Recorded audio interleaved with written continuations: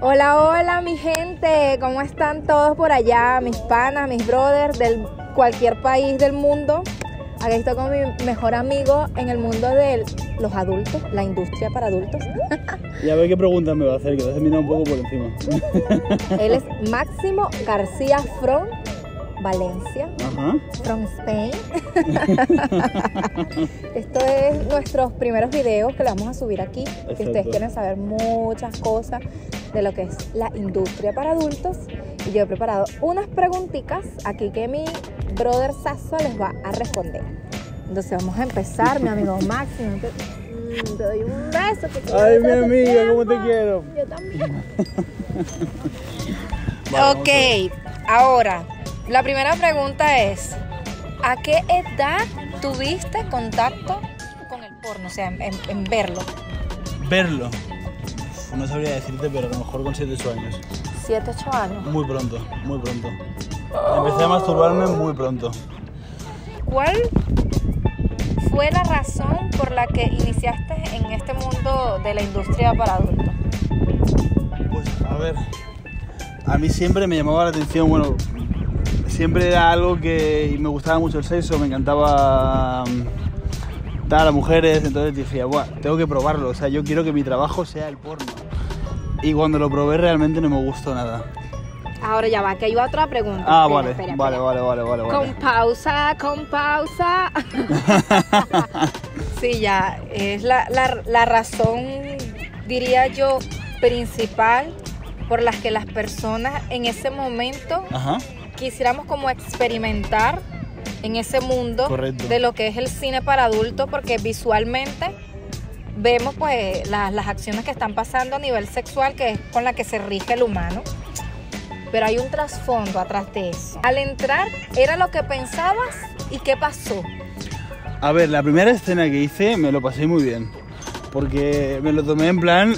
Eh, bueno, es mi primer trío que hice en mi vida. Yo con dos chicas. Y me lo tomé en plan, estoy con dos chicas, me olvidé de que había gente delante, me olvidé de todo y me lo pasé súper bien. La segunda, tercera, cuarta, quinta vez, sexta vez, fue horrible. Horrible, porque solo me estaba centrado en que la gente me estaba mirando y me estaba grabando. Y no había manera. Y eh, lo que más me frustraba era el hecho de estar con una chica que me encantaría en mi vida privada y que no me excitara, que no me gustaba. O sea, er- era, era lo que mentalmente me tocaba. Ya no que me estuvieran viendo, me estuvieran grabando. Me, me tocaba estar con una mujer que me gustaba y que no, que, no, que no sentía nada. O sea, que al revés, me quería ir, lo estaba pasando mal, estaba sufriendo. O sea, mentalmente me chocó mucho y... Claro, porque es como el- la, la idea con la que vamos todos. ¿no? Pensando que uno realmente va a hacer esa acción sexual por placer, Correcto. por gusto, y cuando realmente llegas ahí es como Exacto. ¡boom! Exacto. Te chocas ahí, ¿no? Lo, lo que más te choca, yo creo, es, el hecho de estar en una situación con una persona que te podría gustar y que sea horrible, que estés deseando irte. O no te ha pasado que estás grabando y estás pensando qué vas a comprar luego en el Mercadona. O sea, estás Claro, pensando es la lista de la compra. Sí, es una Sí, sí, sí. desconexión total.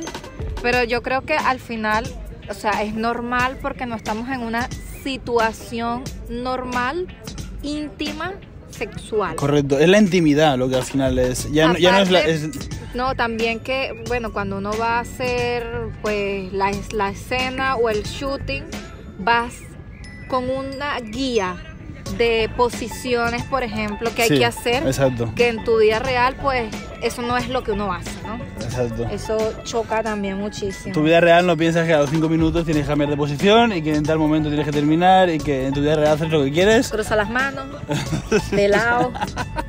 Que si pones el pelo en la cámara, bueno, me ha pasado. no, pues, así, el- el- ah, no, la cara. Sí, correcto, correcto. Me ha pasado con, con mi ex, llegó un momento que trabajaba tanto que cuando estábamos en la vida privada, abría a la cámara, a la cámara imaginaria. Ya, a mí me pasó. O sea, y la luz. A mí me y la pasa luz. siempre los pies. en punta.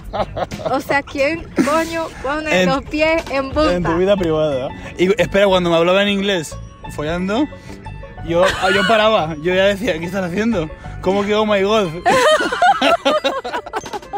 oh my god, decía, vale, hemos acabado y no follamos más. Ya, es que te toca, te toca ahí porque yo creo que lo, lo que peor lo pasamos en la iniciación del mundo para adultos es que tenemos mucha confusión sobre qué es la realidad Sí. y qué es la ficción. Al final cuesta... Al final cuesta organizarlo y, y separarlo. Cuesta. Yo creo que todos los performances que trabajamos en el mundo para adultos nos pasa esto en el inicio a todos. Y, Bueno, y- ya y- todos, todos venimos tocados ya. tocado. ya venimos tocaditos. ¿Cuántos años llevas en el mundo del cine para adultos? Tengo 28 y empecé con 18. Lo que pasa... 10 years. Lo que pasa que he hecho parones, hago parones. Hay he que hecho- darse he- un tiempo. He hecho un parón de casi dos años.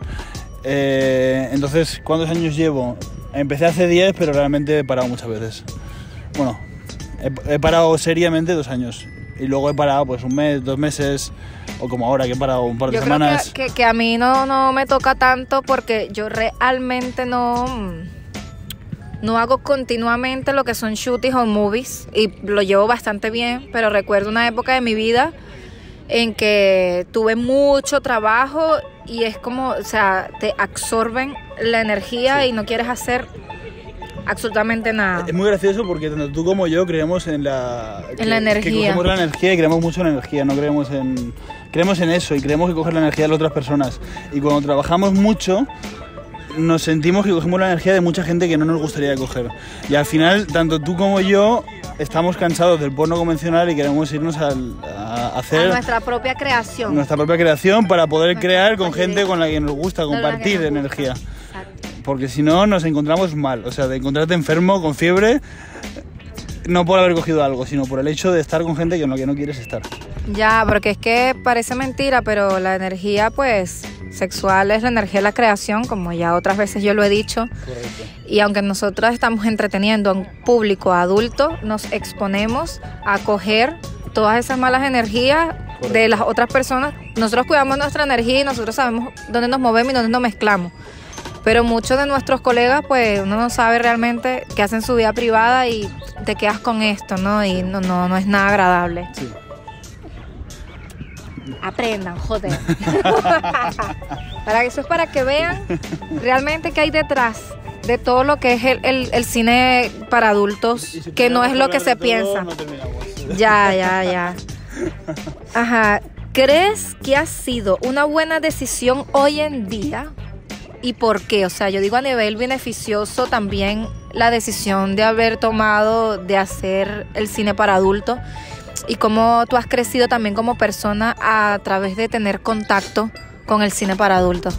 Pues mira, siendo un mundo que no me gusta, a su vez, o sea, ¿cómo, ¿cómo decirlo? No me gusta el porno, pero me encanta la libertad que me da. Me encanta el poder estar. Estamos ahora en Milán. Me encanta que estamos ahora en Milán, estoy de vacaciones y posiblemente to- todos mis amigos, mis compañeros de la infancia están trabajando, están haciendo otras cosas. Es verdad que trabajo, tengo un trabajo muy difícil, pero a día de hoy siento que los 10 años que llevo, por eso ahora estoy tan decidido a hacer otras cosas, no he sacado el partido que, que podía haberle sacado para, Tu crecimiento. para mi, o sea, he crecido personalmente mucho, pero a día de hoy me estoy dando cuenta que ya tengo 28 y yo no quiero hacer porno siempre, es un trabajo que no me gusta, me gusta la libertad, me gusta todo, pero necesito sacar partido, eh, hacer, montar mi negocio, montar mis cosas, todo fuera de esto. Nuestro sueño. Claro, y a lo porque es mejor sí que... grabo porque quiero, no por necesitar grabar. Es la diferencia. Esa sí, esa es la, esa es la gran diferencia Sí. Y tú igual. de... Ya, ya, ya, Y tú ya. igual. O sea, a mí realmente el- lo, lo que más me gusta, pues por decirlo así, de esta- esto del, del cine para adultos, técnicamente y visualmente, yo creo que a ti te pasa lo mismo cuando ves una movie tuya que tú dices, que veo me bien, que me veo bien de este ángulo, se ve súper guapo, Ajá. me encanta la luz, uno va a estar viendo mucho al nivel técnico visual. Yo creo que eso es lo que más disfruto realmente en estar allí haciendo pues las movies y, y el- la recepción también de nuestros fans al ver nuestro contenido, así sea con productoras o nuestro Exacto. contenido propio. Que bueno, que el propio yo creo que aún más les gusta porque somos como realmente somos nosotros, Yo ¿no? solo Como- veo el propio, del profesional no veo nada. Jamás. ¿Sí? El Solo pro- el propio. El propio. Y me encanta verlo y lo vuelvo a ver y digo, guau, de este ángulo queda súper bien y lo vuelvo a grabar, pero no lo veo por excitación, lo veo por el, por el hecho de lo que has creado, lo que has creado tú y cómo mejorarlo y la próxima vez voy a poner esta luz aquí, voy a hacerlo de esa manera y al final eso es lo, es- al Lo final que es- te llena y... el profesional no lo veo. Nada. Yo algunas veces sí, que me gusta ver más lo que yo hago, por supuesto, pero algunas veces sí, pues me gusta mucho cuando me toman fotos o cuando me maquillan, a veces cuando me peinan, depende del tipo de vestimenta que me ponen, me, eso me llena. bueno, continuamos aquí porque yo he preparado, ajá, Máximo. Ok, esto ya te lo había preguntado, ¿cómo es? ¿Cómo es tu pensamiento en este momento a nivel sexual? Y descríbeme el antes y el después en, en cuanto a la iniciación de nuestro trabajo. La iniciación de nuestro trabajo era que... eh, O sea, tú sexualmente, ¿cómo te sentías antes de empezar con, con el, con el- cine para adultos y ahora cómo te sientes a nivel sexual? Mira que, mira que cambio. Yo, bueno, ya sabes que estaba con y todo. Yo antes de trabajar me masturbaba. A veces me masturbaba varias veces antes de ir a trabajar. A veces Se daba mucho ahí en el juguetito, el gusanillo. A veces, en mitad de la escena, cuando se hacía muy larga, me iba al baño a masturbarme. Así vas de loco tú. Iba- luego hacía la escena y luego por la noche follaba con mi novia en casa. Y ahora Eso ya son los, son los primeros años, los primeros Ahora años. es enfermedad.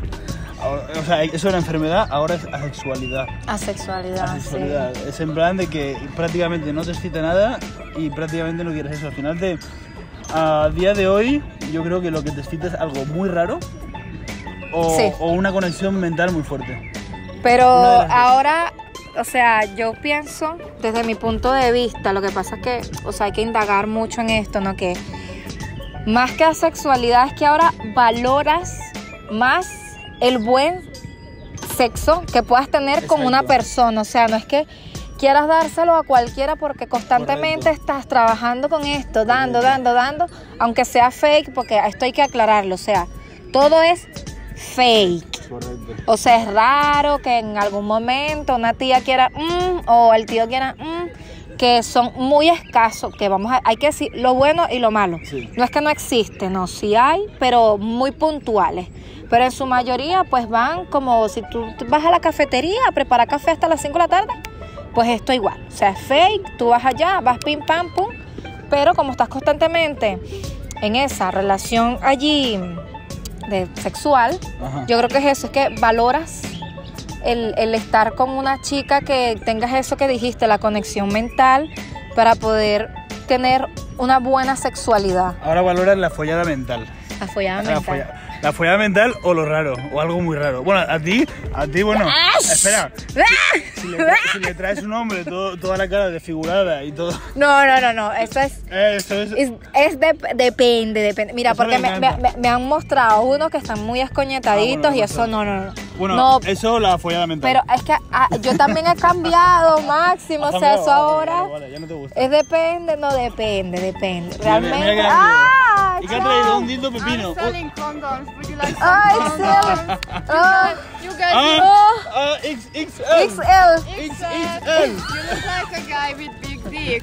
You are a beautiful. My dick is you are small. a beautiful couple. you want some condom for tonight? Yeah, oh, yes. My, my penis is very small. Okay. Don't worry XXL. because I have vibrator and Oh, it's a special toys. But if you don't like dick, big dick baby, it's a smaller carrot for you as Oh. well.